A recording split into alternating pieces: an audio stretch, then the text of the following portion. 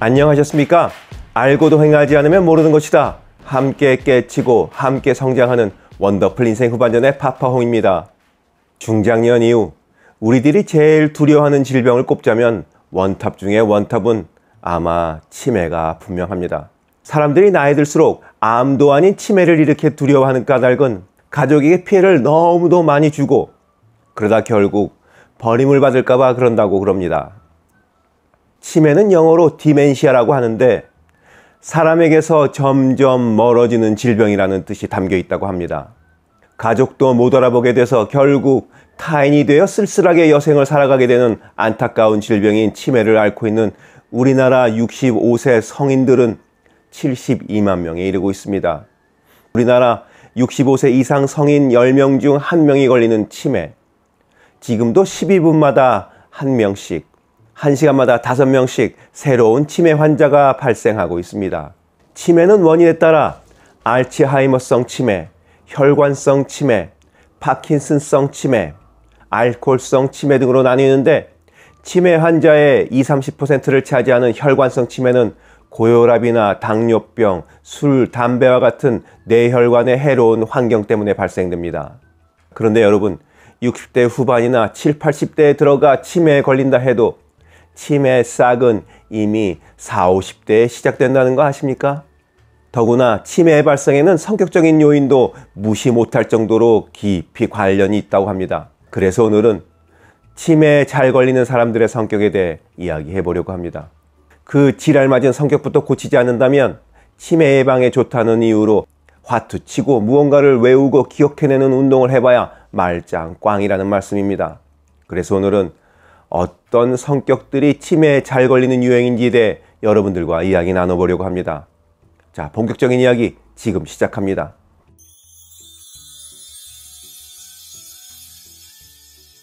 치매는 20여 년에 걸쳐 서서히 진행되는데 처음 15년은 의사와 가족은 물론이고 당사자까지도 체감할 수 없을 정도로 수면 아래 착 숨어서 조금씩 조금씩 커져갑니다.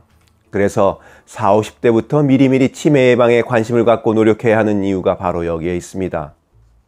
앞서 말씀드린 것처럼 대개는 치매 예방법으로 두뇌를 많이 사용하는 게임을 하거나 좌우 균형 운동과 함께 뇌자극을 위해 손을 사용하는 놀이를 많이 합니다만 정작 치매 예방에 가장 중요한 것은 성격 관리라는 것을 놓치고 있습니다. 스트레스에 취약하고 신경질적이고 성실성이 낮은 사람이 치매 발병 위험률이 높고 이와 반대로 외향적이고 성실한 사람은 치매 발병 위험이 낮다는 연구 결과가 있습니다. 외향적이고 성실한 사람은 상대적으로 다양한 경험과 정보 습득에 열려 있는 생활 습관을 갖고 있는 가능성이 높다고 볼 수 있는데 이런 성격이 뇌를 계속 좋은 방향으로 자극하고 쓰게 됩니다. 반면에 스트레스에 약하고 게으른 성격의 소유자는 치매 발병률이 상대적으로 높은 것으로 나왔다고 말씀드렸는데 이보다 더 심각하게 치매 위험이 3배나 더 높은 성격은 냉소적이고 비관적이며 폐쇄적인 성향이 되겠습니다. 냉소적이고 비관적이며 폐쇄적인 성격은 인간관계에서 고립될 가능성이 높고 그것으로 인해 다양한 경험과 정보에서도 단절되기 쉽상입니다. 그래서 결과적으로 우리 뇌에 악영향을 미치게 되고 그 과정에서 치매, 싹이 자라나게 되는 것이죠. 자, 이쯤에서 일본의 노인 전문가들이 정리한 치매에 잘 걸리는 남녀 성격에 대해 말씀드려 보도록 하겠습니다. 치매에 잘 걸리는 남자 성격 4위 지기 싫어하고 고집이 세다. 운동 경기에서 지기 싫어하고 열심히 한다면야 그것은 건강한 승부욕이 되겠습니다만 그것이 아니라 사소한 것에 자존심 내세우고 지기 싫어 뻔한 것도 인정하지 않고 버티는 사람들 있죠. 바로 그런 사람들입니다. 조금이라도 뒤쳐졌다 생각하면 씩씩거리고 아주 난리 나지 않습니까? 짐에 잘 걸리는 남자 성격 3위 완고하고 융통성이 없다. 자신만의 생각, 자신이 살아온 인생만이 옳다고 철석같이 믿 고 다른 것을 인정하지 못하는 답답한 유형의 분들입니다. 짐에 잘 걸리는 남자 성격 2위 꼼꼼하고 화를 참지 못한다. 매사에 완벽하라고 애쓰는 분들이 있습니다. 덜렁대는 성격보다 꼼꼼한 성격이 사고는 덜 치겠지만 문제는 이런 분들이 남의 실수에도 너그럽지 못하다는 겁니다. 화를 잘 낸다는 거예요, 또. 사람이니까 실수할 수도 있는 것인데 그걸 인정해 주지 않는 거죠. 이런 사람을 배우자로 두고 있거나 상사로 모시고 있는 분들은 아주 죽어납니다. 잔소리에 참견에 화에 아이고 그리고 화를 잘 내는 사람 자기는 불의를 보면 못 참는다고 얘기하지만 여기서 불의란 뭐 커다란 역사적 대의에 따라 행동하고 실천하고 그런 인생이 아니라 당장 눈앞에 눈꼴 신 것을 못 참고 버럭버럭 화를 잘 내는 사람들을 말하는 겁니다.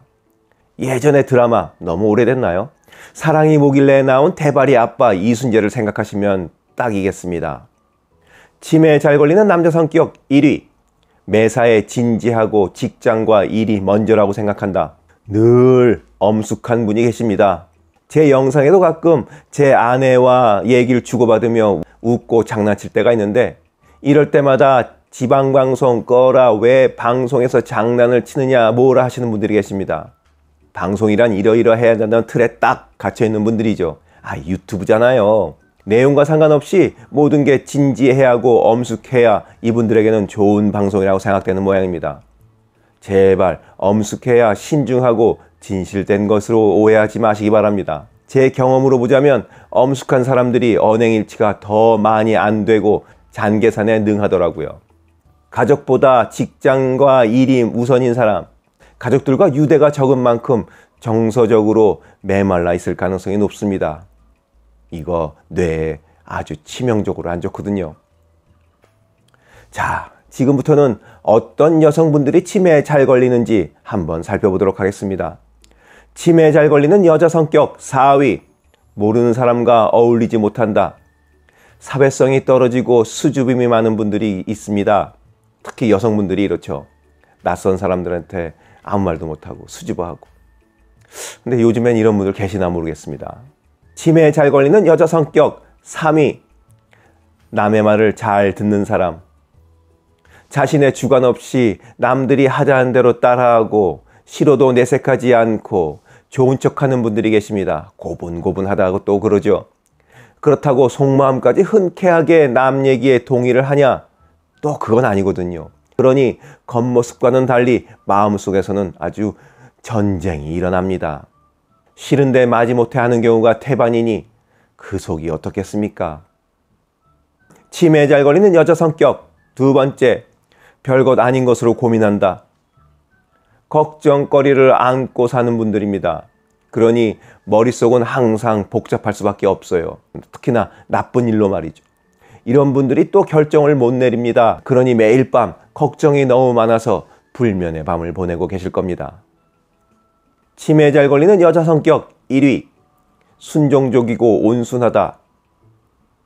겉으로야 언제나 차분하고 말수적고 안정되어 보이기까지 하지만 안으로는 썩어 뭉그러지는 유형의 분들입니다.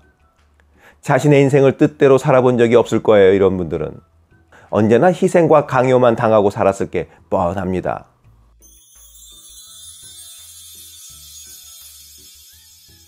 남자 여자 성격을 구분해서 말씀드렸지만 사실 어디 성격이라는 것이 뭐 딱 성별로 나누어질 수 있겠습니까? 그러니 남자 여자 구분 않고 오늘 말씀드린 8가지 성격 중에 자신이 해당되는 것이 있는지 살펴보시길 바랍니다. 긍정적이고 융통성 있고 언제나 새로운 것을 받아들이는 마음의 자세로 살아가게 된다면 정신 건강에도 좋고 결국 치매 예방에도 좋습니다. 오늘도 많이 웃고 좋은 것만 바라보고 긍정적인 생각만으로 가득한 하루가 되길 빌면서 오늘 영상 마치도록 하겠습니다. 원더풀 인생 후반전에 멋지게 나이 먹기는 계속됩니다. 감사합니다. 하루를 충만하게 살아가는 좋은 사람들이 모여있는 곳이 있습니다. 바로 지난 3월 5일에 문을 연 실버들의 전성시대 네이버 카페입니다.